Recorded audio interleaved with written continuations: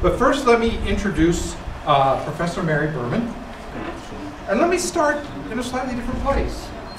You know, even though some hospital patients think otherwise, Wyoming's nurses do not come down from heaven. they must go through a long period of training, education, and learning experiences.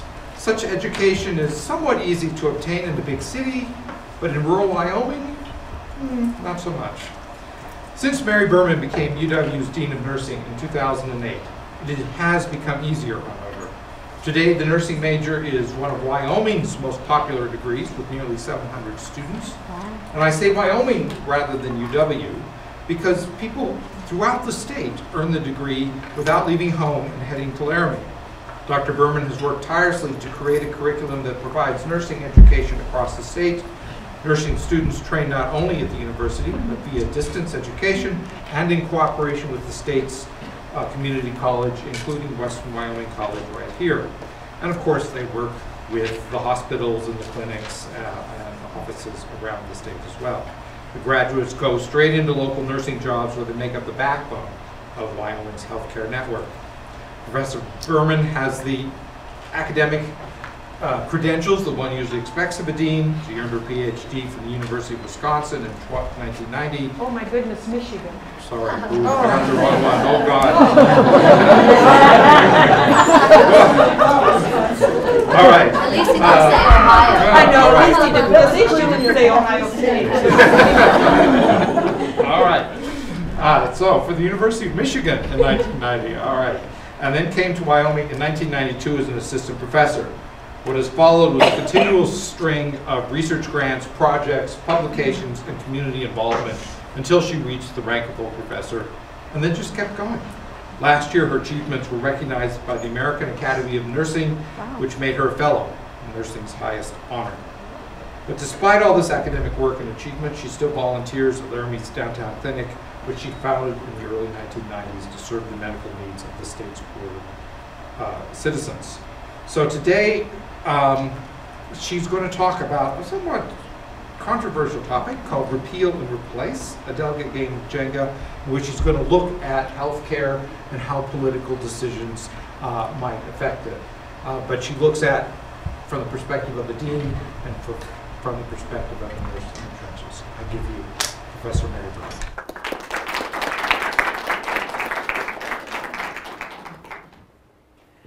Thank you. After uh, Dr. Roberts' talk, I was thinking now for something, as Monty Python said, now for something completely different. We're going to talk about healthcare. Let me see if I can. What I want to go over for you is a little bit of historical context following up on Dr. Roberts' uh, talk for you. How did we get to where we're at today? with this kind of patchwork hodgepodge system of payment and providers. It's complicated. We'll frame that a little bit. I'm going to, though, spend my time on sort of a primer on health insurance and particularly healthcare reform to understand how, how all these pieces fit together. Why is this? If we remove one piece of Obamacare, we've just created a game of Jenga and the whole tower falls over.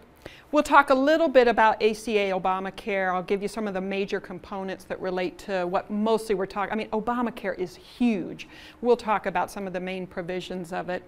Then we're going to talk about these challenges to repeal and replace and what those might mean for us. Um, and then I'll say a little bit about what's next, but that's a big mystery. That's a huge question mark. Uh, Trump has come out again, President Trump this week, talking about another new plan. Um, after a couple weeks ago saying that health care was completely off the table for a while. So we'll see what happens. My what next, I'll be kind of curious a year to now to go back and listen to what I might have said now, and we'll see if I was in any way accurate at all. So what I want to set the context, like I said historically, healthcare reform has been around for a long, long time, and I think we forget about that. Um, the Republicans were famous for saying when the ACA was being heard that how could they spring this on us so quickly? Well, it turns out we've been talking about healthcare reform for a long, long time. This picture over here is uh, from one of the labor movements in the early 1900s. Um, they were really pushing compulsory health insurance at that time. So this goes way, way back. I put this in because it's just delightful. This is from 1939, this um, physician talking about is people's health a government responsibility? So we have actually been debating that particular topic for a long, long time. What should the federal government's role be? What should be the state's role? So none of this is really new. We have been talking about this for a long, long time. So how did we get to this particular point that we're at? Let me kind of walk you through that. When you think back to the early 1900s, this is when those, the notion of sickness funds began to be established. So often employer groups would get together and everybody would put some money into a pot and that money would then go back out to those who were in that group, often to do more, much more coverage of wages than actual health coverage. It was wages that were more, if you lost your wages, that was a bigger impact than needing to cover the costs of health care because it didn't particularly cost much that time. As an aside, we can have, uh, at some point you can ask Dr. Roberts about one of the very early sickness funds in the state of Wyoming, for example. But out of that then later came the Blue Cross and Blue Shield, the real building up of the insurance industry itself. Part of this was to cover hospital care and then part of Blue Cross and Blue Shield was to cover physician care. But that really began the whole health insurance movement followed by the commercial insurers, the for-profit ones. Blue Cross and Blue Shield were nonprofit. Most of them are, a lot of them are to this day, although not all of Blue Cross. There's a, there are for-profit um, arms of Blue Cross and Blue Shield at this particular point. But initially they were all nonprofit, but then the big for-profit commercial insurers started to get into the market. Um, and then came World War II, and I think this is a, a small but important piece to remember we really based our coverage of healthcare on employers. And why did that come about? Well, we can trace that back to World War II. During World War II, there were wage controls in place, so you couldn't increase people's wages, but it turns out you could, within a certain amount, up people's benefits. So health insurance became really a nice thing for employers during World War II when they couldn't negotiate or change wages, they could actually provide health insurance for people. So that was sort of the first step down the pike. But then in the early 1950s, the IRS, after World War II, ruled that those contributions were tax deductible then. I mean, we're not taxed. Well, this is an incredible thing. They're tax exempt now. So employers, this is how the big employer market really came about, which is why most of us today are covered by an employer in terms of our health insurance. It became a big collective bargaining unit thing as well. It was a nice way for collective bargaining units to come in and negotiate around health coverage for the, for the beneficiaries as well. So that's the 1940s and the 1950s. What happens in 1960s? Um, LBJ comes into office and uh, passes amazing legislation around Medicare and Medicaid. As you know, as you may or may not know, I don't know why we named them so close, Medicaid and Medicare. It would have been better to have two very different names because it gets confusing about what is what. Medicaid is for older adults and disabled persons. Um, it's more of a health insurance. Then you have Medicaid, which is really, initially uh, came out of sort of the welfare movement, so it had much more of a welfare piece to it. Um, it's for low income. You have to meet, initially you had to meet certain asset limitations and be in a category. So while you may have been somebody who was very low income, if you didn't fall in a, in a category, you, wouldn't get, would not get coverage by Medicaid. Uh, the Obamacare um, ACA actually for the first time changed that part of Medicaid. Um, then came S-CHIP during the Clinton administration. This was the Children's Health Insurance Program. So this covered children. It did not cover their parents. So again, it's sort of categorical in nature. Your children could be eligible for, for S-CHIP, but you as their parent would not be eligible for S-CHIP. And then finally, the most recent large-scale um, change in healthcare was the ACA or Obamacare. Now, I put this picture up because it's one of my favorites. This, of course, you probably all know who this is. LBJ. Who's sitting next to him here? Barry Gold. It's not Barry Goldwater. It's actually Truman. When, when the ACA, or, or when the um, Medicare and Medicaid were passed, um, LBJ, against, I guess, the advice of his advisors, said they were going to go to Missouri to sign the legislation because Harry Truman had really been an early uh, promoter of um, universal health care. And so they flew, he was at this time in very poor health, but they flew, all got in a plane and flew to Missouri and he signed the legislation in Missouri with Harry Truman sitting right beside him. And reportedly, Harry Truman was extremely touched to have had this happen. So, because of this historical context, we end up with this really interesting hodgepodge of payment systems in our country. So, for those of you who are without insurance, you're in this particular part of it. So, these are individuals who pay directly out of pocket to a provider for their health care. So, these are folks who are uninsured. Um, now, what's challenging about that group is that they get charged, if you're in a hospital, they get charged list price or charge master price which are tend to be significantly higher. When you look at things like Medicaid and Medicare, they've negotiated, these big payers have negotiated with health systems. Well, if I'm an individual, it's sort of hard for me to say, well, I need my gallbladder out next week. Can I come in and negotiate my price for my gallbladder? So if you're in this particular part of the healthcare system, you are paying top dollar, um, and you don't have that really, nothing in there buffers that relationship. It's a direct relationship. Then we have the individual market here. This is different than the employer market. This is the part that the marketplace exchange came in and beefed up. But this is very different. So this is an individual who pays, him or herself pays that premium to a health plan. The health plan turns around and makes the payment to the provider. Um, this market is the one that's been most challenging because you don't have the big groups in it. That's the advantage of employer-based insurance. The employer has whatever, 500 in, in employees, and comes into the market with all those employees together. In this particular market, the individual is the one uh, by themselves, which makes it much more complicated. So then we have the employer-based market here. The employer by and large pays the premium, although as you know, for many of you who have employment insurance, you may as an individual be paying part of that premium as well. And the amount that employers are paying, employees are paying is growing over time. That's one of the places where employers have offset some of the increasing costs of insurance. They've put that on the backs of their employees, which makes some sense at some level. But the employer generally is paying the premium to the health plan. The health plan then is making the payment to the provider as well. So that's the employment part of this whole picture. And then we have the federal programs here. In those, and those are completely different because it's typically the taxpayer who's paying taxes, which then are converted and paid over to a health plan, which then pays the payment, which then pays the provider. The individuals mostly enroll, um, so they're not necessarily paying for that. That's really true in Medicaid. It's not quite true in Medicare. In Medicare, there are premiums that have to be paid Part B, for example, which is the physician coverage, um, the individuals actually pay a premium into that part of it. So that's how this, we've got this weird, wacky patchwork of stuff. And how people get covered and how much is covered all varies depending on which of these you happen to end up in. So out of that came the question of why healthcare reform, and this is a recent article, and I thought it summed it up probably the best of anything I've read recently.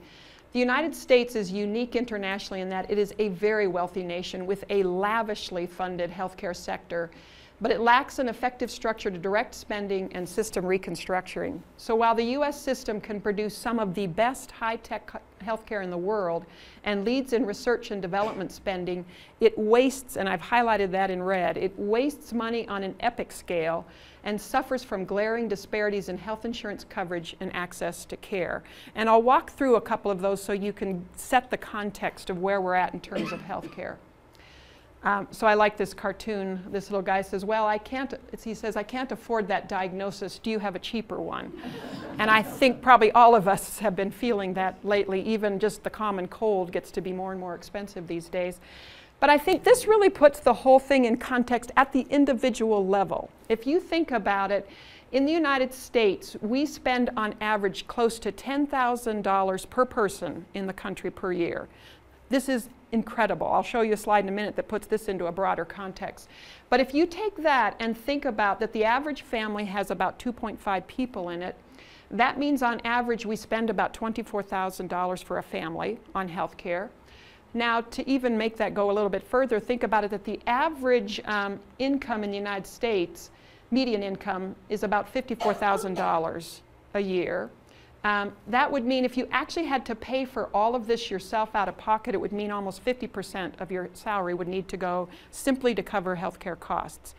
Now that's assuming this 24,000 um, up here is assuming that there's no subsidies or an employer paying anything into that. This is if you had to pay all of it. So think about if you're in the individual insurance market, why that market is so challenging. This really, really highlights that piece of it. It also highlights it in the sense if you're the employer or somebody else paying for that coverage, why it's complicated. Because think of how much that, per, that employer or who's ever subsidizing that has to pay in order for this to be something that can actually be attainable by an individual family. So this really hits how healthcare costs hit at the individual level.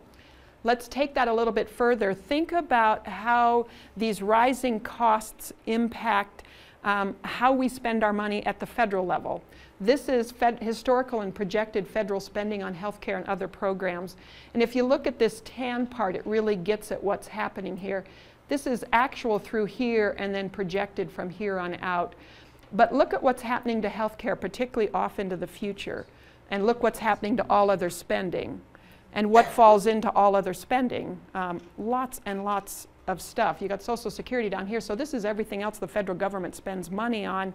And because of this increasing, if these would stay true, um, this increasing spending in healthcare, this pushes out spending. The pie gets smaller and smaller for the other parts of the health of the federal government. I didn't put this up, but you can look at the same thing at the state level as well. The same sort of slide labeled slightly differently shows the same kind of thing, and it's because of that huge growth of Medicaid at the state level um, as well. So that gets at this sort of what's happening at the at government level. But let's look at it even in another way. Um, and this really gives you per capita spending in the United States relative to a number of other developed countries. United States is this gigantic blue bar. This is a slightly different year. This is 2012, which is why it's lower than the other slide, but nine, roughly 9,000. The next country is Switzerland, which, if you follow that down, is probably spending about $6,000 per capita for healthcare in that country.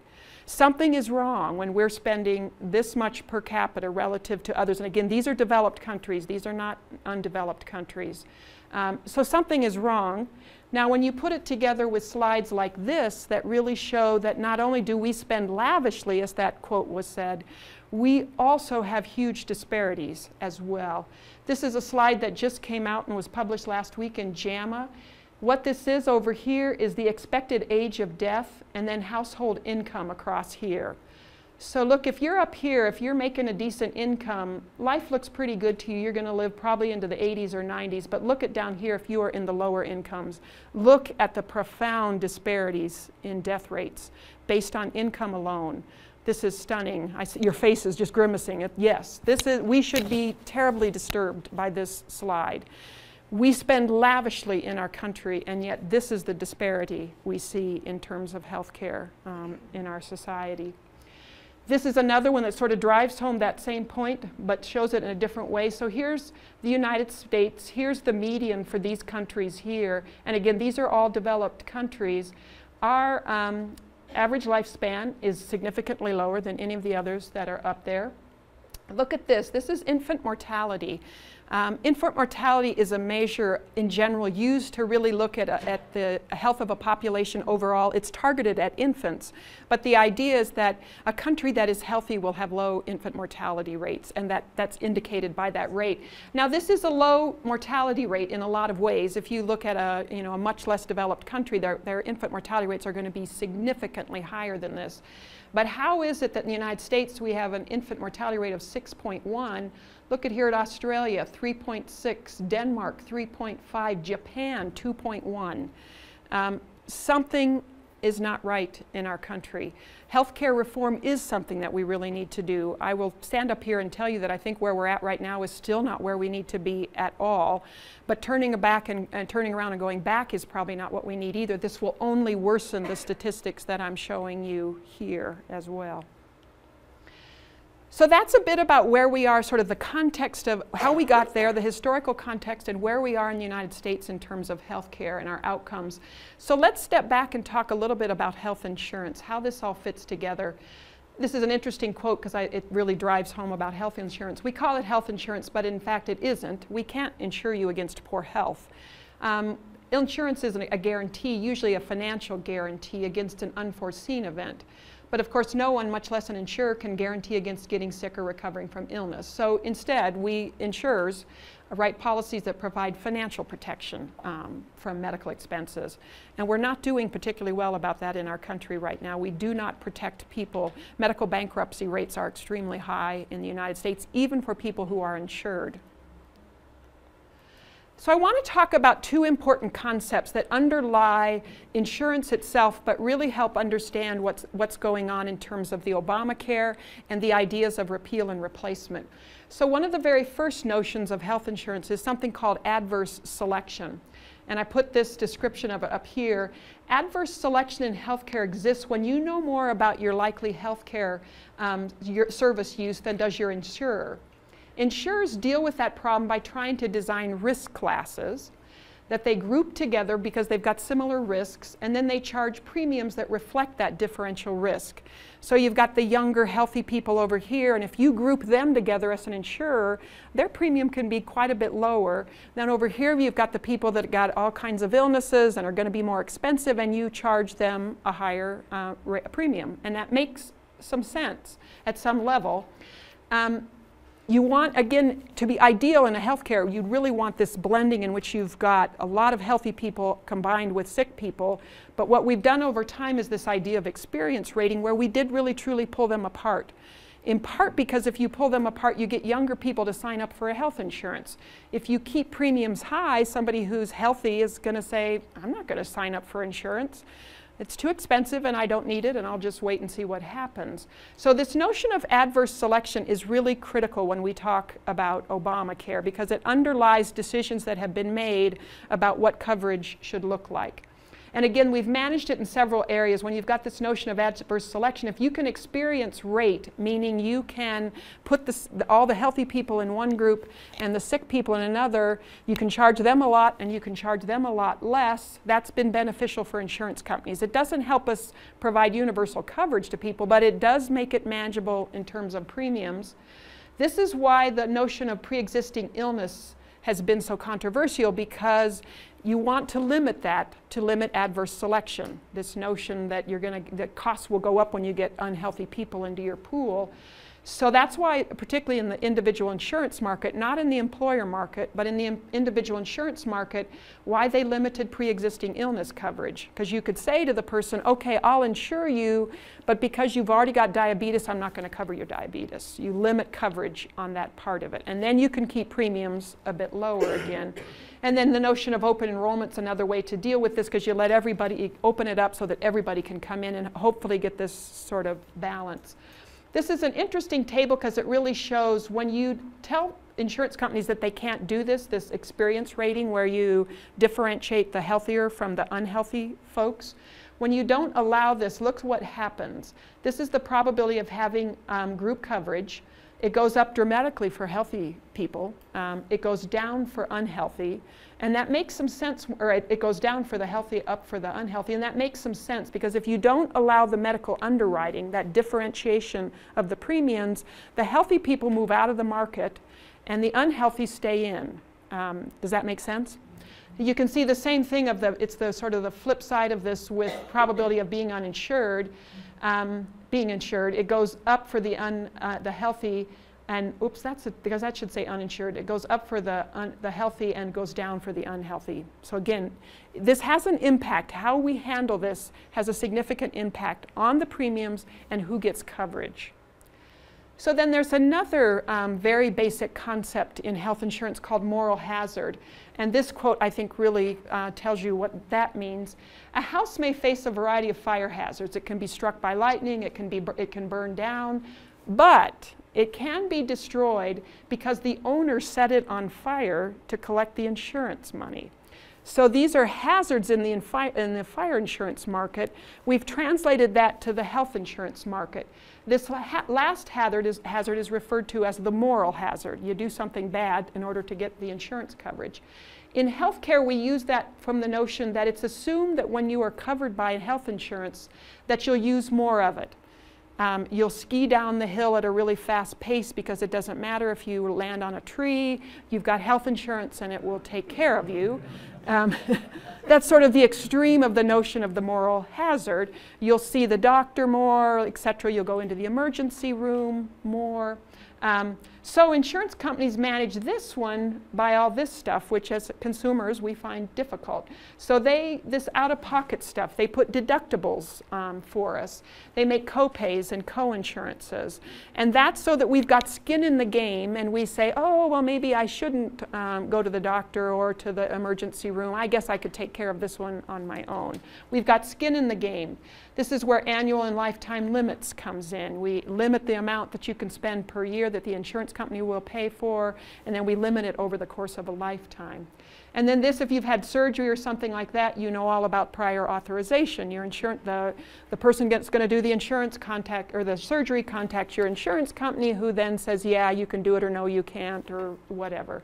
These were all to address this issue of moral hazard.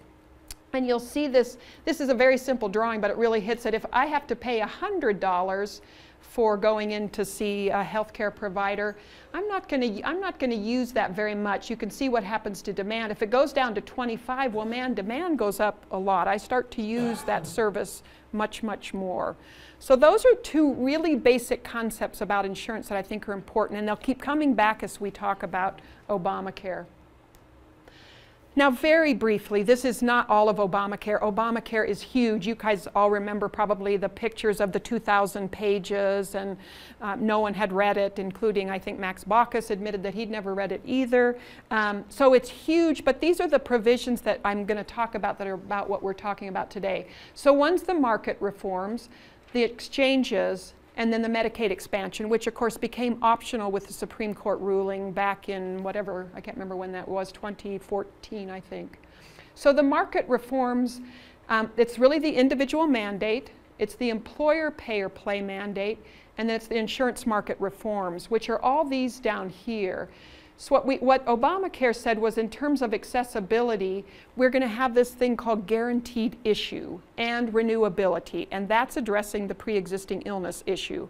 So it's saying that you have to, the, on the insurance market, if you're providing insurance, you have to take that person and you cannot exclude them based on uh, healthcare issues.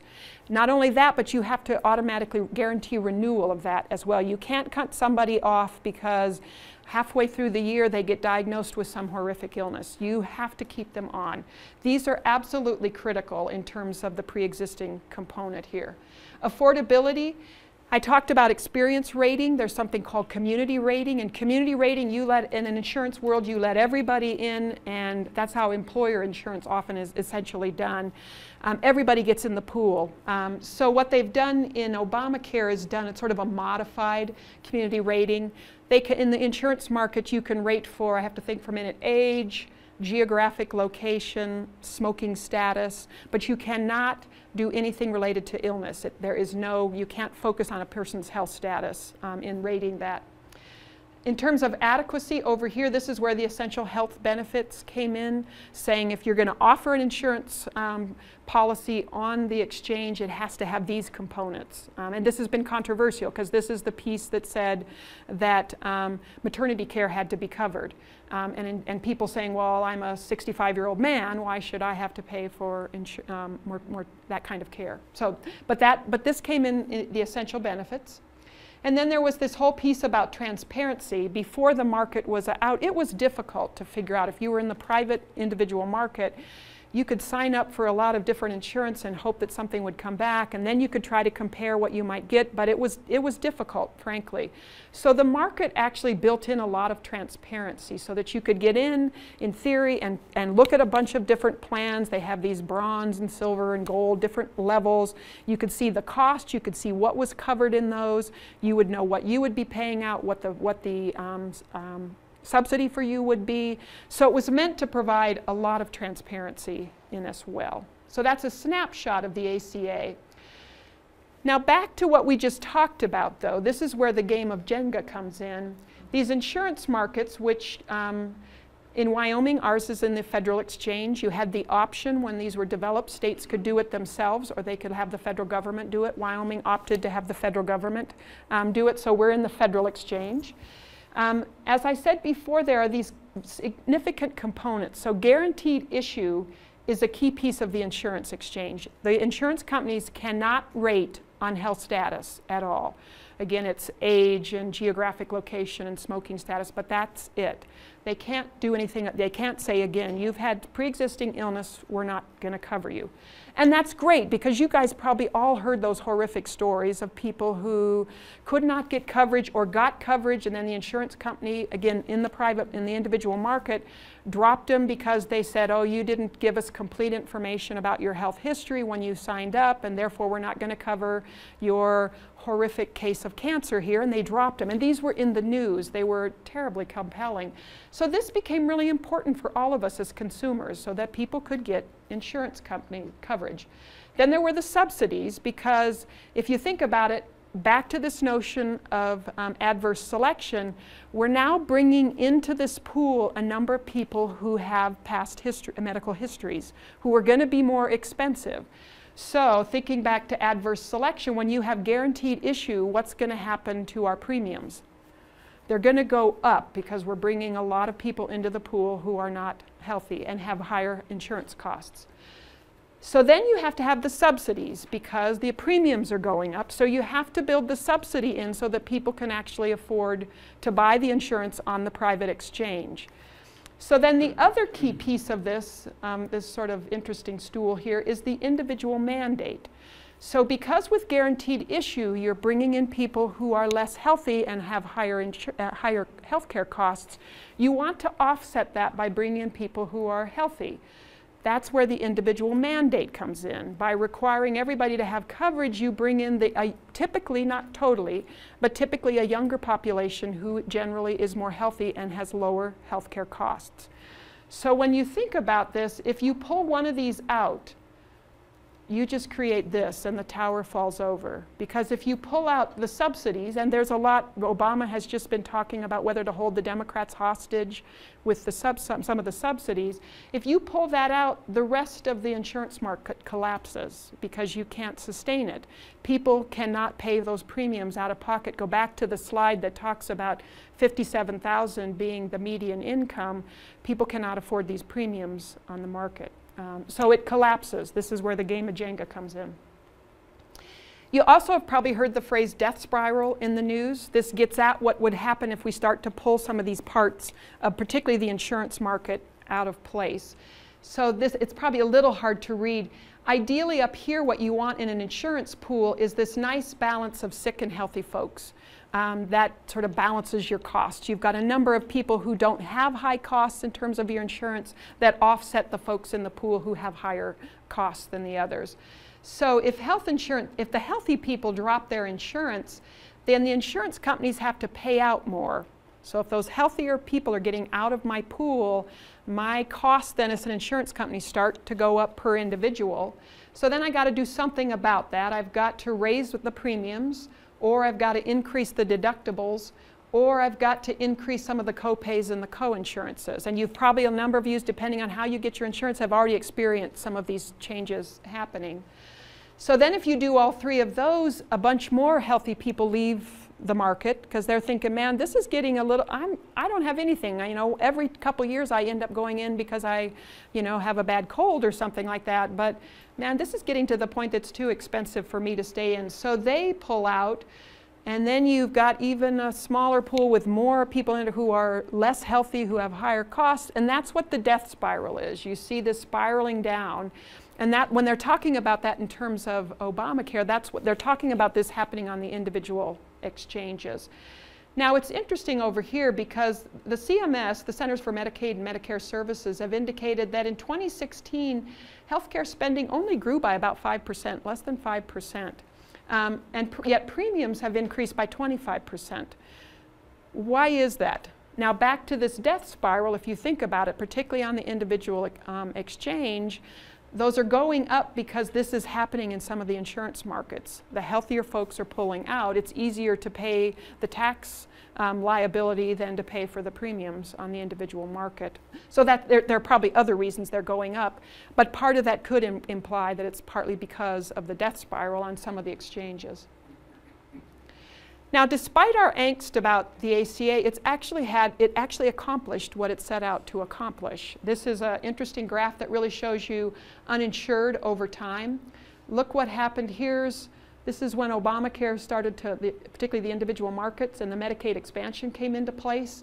Look what happened. We're down to 10.3. We've not had that low of an uh, uninsured rate in a long, long time. Um, so despite our angst, I think as a country about the ACA, it did, it, set, it did what it set out to do.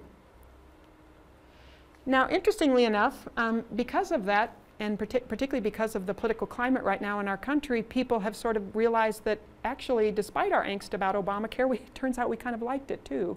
Um, and you really see the change in the public opinion. It's this blue part here is the people who've seen it positively, and these were sort of the low points here when the private insurance exchange rollout occurred, which was quite frankly horrifically handled by the Democrats um, in the Obama administration. So you see people very unhappy with it here. Starts to go up and continues to go up. And now here's, since the Trump administration has come in and the, the um, increased uh, urge to repeal and replace. So actually we've kind of woken up and realized this was probably a good thing. We're not, in, we're not all on that page, but increasing number of people are saying, wait a minute, uh, we, we need to stop and slow down on this. But that's not, there are not significant problems. So this, and this will stand out to oh, those of us in Wyoming right here, we are one of the places in the country that has one um, insurer on our federal exchange that's offering uh, insurance in Wyoming. Blue Cross and Blue Shield of Wyoming is the sole one providing. So that begins to tell you, now there are others that are not like that, but that begins to tell you that this is, these are markets that are probably much less stable than other parts of the country.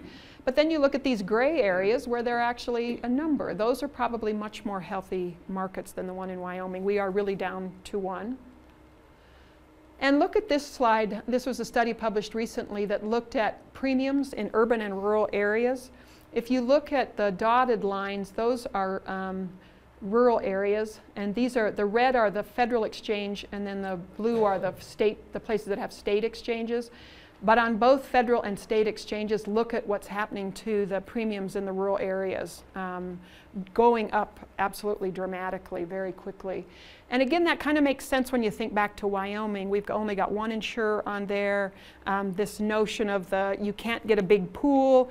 If you talk to the folks at Blue Cross Blue Shield, they can relate to you case after case of very expensive individuals coming onto the individual market. And they feel committed to take care of them, but these folks are costing a huge amount um, of money because they have a potentially a very rare disease and then a treatment for it that is just unbelievably expensive. So our, this makes sense that in the rural areas our premiums are going up more rapidly than in the urban areas. So because of that, as you know, out has come uh, the idea that we need to, um, after seven years of Obamacare, um, with a change in leadership in, uh, in Washington, um, we've decided we need to go back and repeal and replace now. I love this particular slide because here's we got Uncle Sam saying that took seven years, and Paul Ryan talking about, well, we put a lot of time into the slide um, and into the sign. So they, they have announced their plan. As you all know, if you followed the news, there was a big to-do about it over the course of about, I think, maybe 17 days at the most. And then the bill was withdrawn, and um, uh, President Trump said that's it for health care. We're not going to go back to it. We're going to turn towards uh, tax reform. Um, and so we all thought it was off the table for a while. It's coming back. I'll sort of walk you through some of the main things. This, this was called the Animal, Animal American Health Care Act. that was probably a Freudian strip, slip of some sort. I won't speak to that. I'll have to do what I'll have to do what Professor Roberts did and step out of my official UW role and confess to some things. Um, the American Health Care Act, what the original proposal, there have been some changes since then in the, in the latest rounds of negotiation, but the, this is the major components of what came out of that. They do want to repeal the individual mandates and the premium and cost sharing subsidies. Now think back to our three-legged stool there and what will happen if that happens.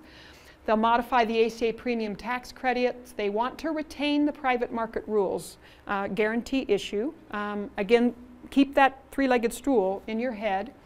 They want to retain the health insurance marketplace. What they want to do in place of the individual marketplace is, or, or, the individual mandate is to flip that around. So you don't have a penalty for not having coverage. You have a penalty in essence for not keeping coverage. So if you drop coverage, once you step back on and try to pay coverage, you will pay a penalty of like, I think it's 30% over the next 12 months. So the idea is to try and keep people on coverage. Um, now, whether that would work or not is uh, yet to be seen. Uh, they're going to encourage health savings accounts. They want to limit the Medicaid expansion. What the Medicaid expansion that in place will stay in place, but I think by 2020 they will let no further expansion into place and they'll just uh, re retain coverage for those that are on it, but cut back on the expansion piece of it. And then a big piece of what they want to do is convert Medicaid um, to a capita or a block grant, and we'll talk briefly about that. So let's look at a couple of these components and see what they might mean. Oh, before I get to that, this is sort of what happened with that. The CBO report came out and it showed this that the number of uninsured by 2026 would be increased by 24 million. This would not necessarily, it got confusing in the news. This doesn't mean that 24 people, million people would have their coverage ripped away from them. It could be people who, because the individual mandate is gone, choose not to have coverage. So it could be, it's a combination of people probably losing coverage and people taking and deciding not to take coverage as well. But this was this here hit the news particularly hard that this number of people we would returning back to what we were in terms of uninsured rates to the pre-Obama pre-Obamacare days. So this sort of sealed, I think, uh, the fate of the original round of this Republican plan. But let's talk about a couple pieces. Uh, one very strong conservative argument in healthcare reform has, has been the health savings accounts, the HSAs.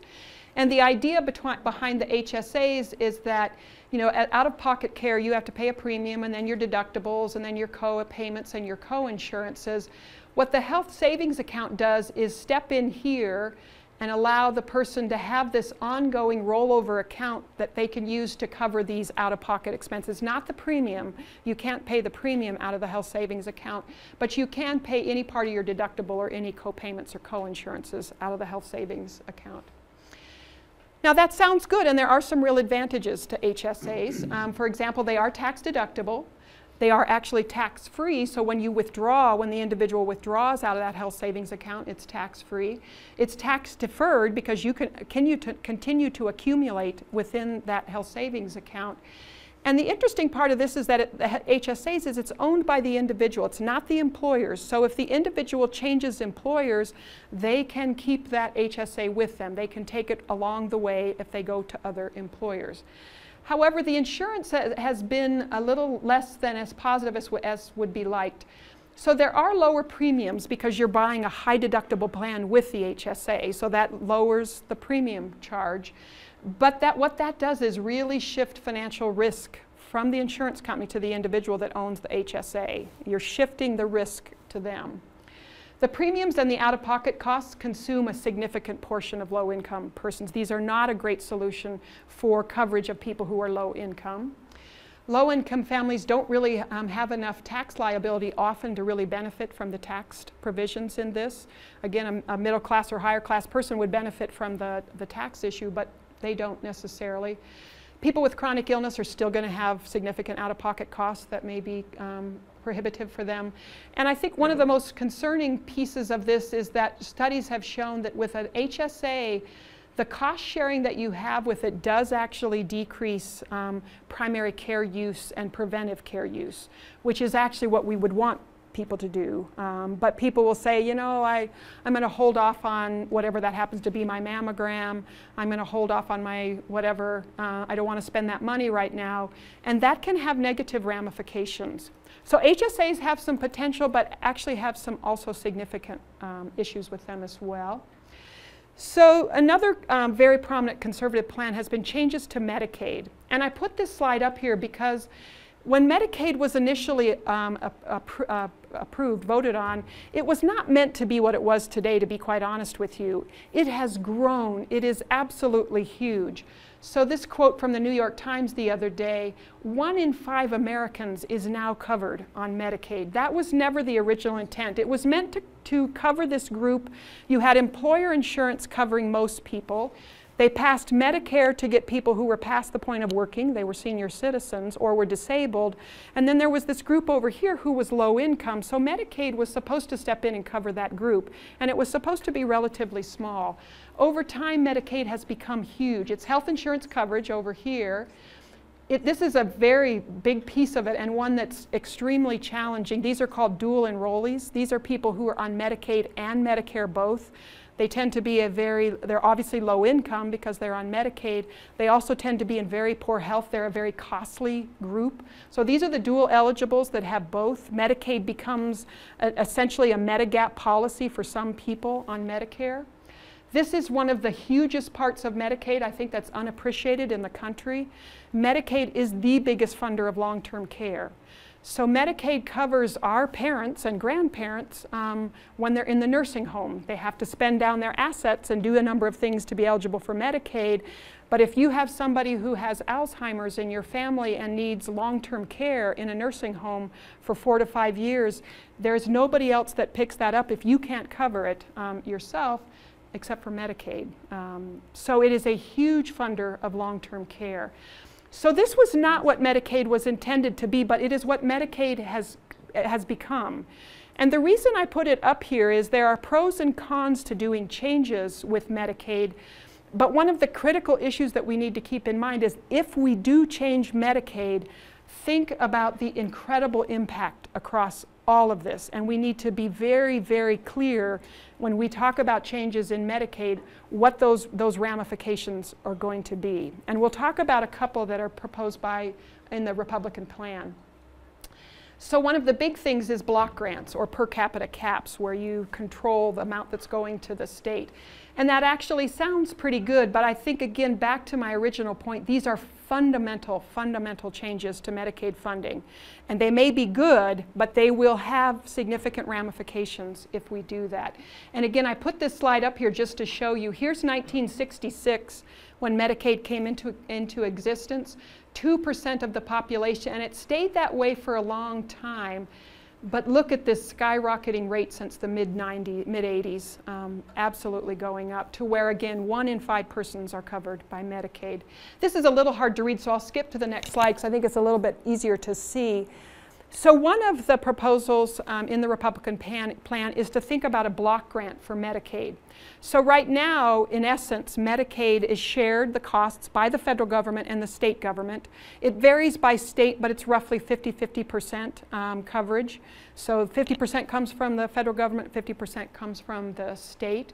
Um, and it's basically um, given on charge. I mean, you, this is a this is a entitlement.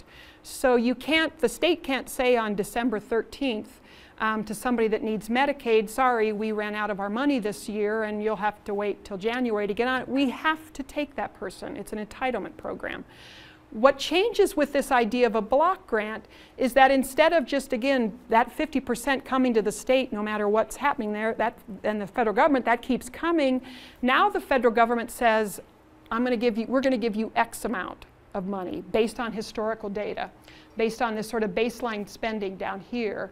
So if we kept with the old form of Medicaid, in theory, it would go like this, and that then takes into account changes in the state, economic downturns, changes in healthcare costs.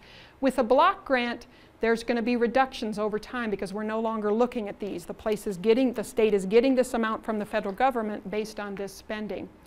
Now, what, that what you have to think about with that form of uh, funding is think about what happens to Medicaid enrollments whenever there's an economic downturn in the state every time, so in the last couple years, as the state's economy has been difficult in Wyoming, Medicaid enrollments go up. That makes sense. It's not a surprise. With a block grant, it's going to be difficult to account for those. Those, the state's going to have to figure out how to handle those changes in enrollments in a block grant that wouldn't be covered now by the federal government. The federal government's not going to increase their portion that's coming with the block grant.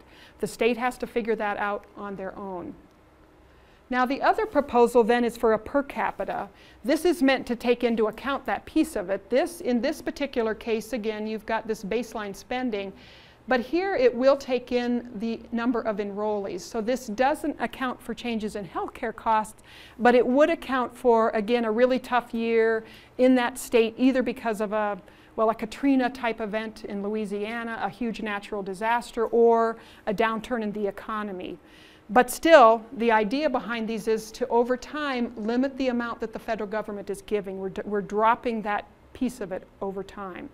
Now that could be an okay thing. You can you'll talk to some um, healthcare people who will say, well, that's actually okay. If we do the block grant, the idea is that the exchange is that the states would be freed up from some of the bureaucracy from the federal government about how they have to run their Medicaid program. So some folks will say, well, we could probably live with that. Um, that's probably yet to be tested since it's somewhat of a natural experience. Am I getting close? Five minutes. Ooh, I better let's see what I have left to do here. Selling insurance across state lines, this is another big Republican um, idea. This sounds really good, um, except for the reality is it doesn't help all that much. Um, when, you when you look at the evidence on this, um, insurance is regulated at the state by and large, not totally, but by and large. Um, but what happens is that the primary barrier to moving across from one state to the next state in, in the insurance market is actually the ability to set up networks and negotiate reduced prices. That's what insurance companies do. And that's a bigger barrier than actually the state regulations that prohibit that. High risk pools are really being talked a lot, a lot right now. If you pull away that individual mandate and you've got people in the pool who are expensive, one idea is the state could carve them all off and put them into one pool together. That sounds good, but again, think back to my three-legged stool. These are very, going to be very expensive pools of beneficiaries. You cannot make these work without huge significant subsidies in them. No one can afford the premiums in this kind of a market. These have been in states um, already. They have tended not to be successful, again, because they are very, very costly to run. So what's next? I have no idea. This is President Trump's tweet a couple weeks ago. Obamacare will explode and we'll all get together and piece together a great health care plan for the people. Do not worry. I don't think that's how the, the, the uh, most of us in the, in the country are thinking about this. I think most of us are very worried. There's a whole bunch that they could do to dismember it without actually repealing it, and it's a list of some of the stuff. Secretary Price has huge leeway. His name is, uh, not his name personally, but the Secretary of State over and over is listed in things that he or she could do to Obamacare within um, the policy without having to change it. But this runs a huge political risk. Um, the Republicans are sort of trying to tell people that the Democrats still own health care reform. Uh, the, the rest of us in the country are not believing that and saying, no, when, the, when you have the White House, the um, House, and the Senate, no, healthcare reform is yours. So there's a huge political risk to doing this. And I love this. Um, the town halls. now, what makes this even funnier is this is not a recent um, cartoon. This is actually a cartoon from 2009 when it was flipped and the Democrats were going home to have Republicans absolutely infuriated over Obamacare. They could alternately shore up ACA. We'll see if that happens. There's an interesting topic. We can talk about this one. This is an interesting time that there could be interesting discussion about universal coverage. Um, when you think about the populist world we're in right now, both on the left and the right, um, covering everybody could actually come out of that in a way that we hadn't thought about before. And I'll leave it at this quote from JFK. So let's begin anew, remembering on both sides that civility is not a sign of weakness and sincerity is always subject to proof. Let us never negotiate out of fear, but let us never fear to negotiate. Let both sides explore what problems unite us instead of belaboring those problems which divide us. In your hands, my fellow citizens, more than mine, will rest the, future, the final success or failure of our course. And I think that's probably something we need to think about right now. Yeah.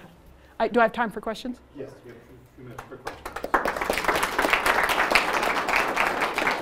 Oh, I'll go here first. Could you recap what you, the like main point of your presentation is because we were rushing and we really you gave us lots of information and we don't know the which main, way are you going. Really, the main point of this discussion is that um, repeal and replace is incredibly complex. The ramifications of it are huge.